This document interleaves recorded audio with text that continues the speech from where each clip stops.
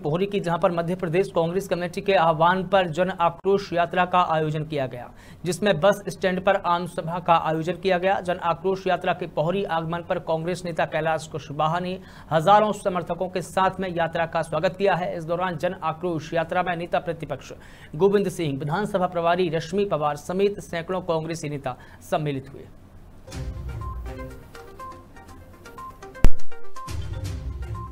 बच्चे, बच्चियों बच्चियों पर हर साल व्यवचार हो रहा है। कांग्रेस, कानून व्यवस्था चौपट हो गई है। कानून व्यवस्था में उसने लॉ एंड ऑर्डर कानून क्या कहते हैं? अंग्रेज़ी में लॉ ऑर्डर ऑर्डर और कानून। अब तो लॉ एंड ऑर्डर होगा न्याय पैसा, ले जाओ ये शिवराज सिंह का हाल है। इसलिए मेरा नाराज़ है। उनके साथ अत्याचार चल रहे किसानों की फ़सल का दुगना मोल मिलना चाहिए, नहीं मिला। कट गया अपना खाद बीज, और जो गाँव करते हैं, खेती किसानी के लिए औज़ार खुरपी हसिया कल्टीवेटर हाथ मकार पैसा छोटा बैटर